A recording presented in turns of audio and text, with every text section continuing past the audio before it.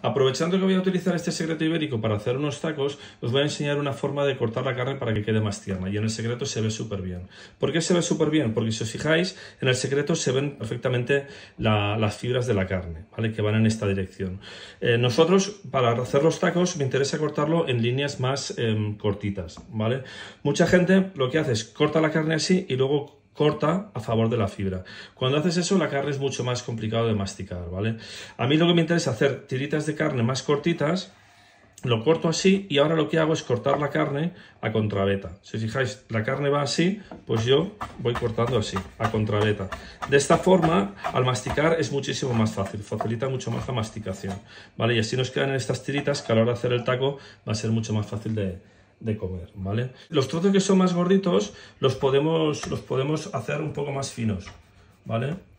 Como cuando hacen, los, hacemos así, cortamos así y ya tenemos un filete más fino, ¿vale? En vez de cortar la carne así, que sería a favor de la beta, la cortamos a contra beta, ¿vale?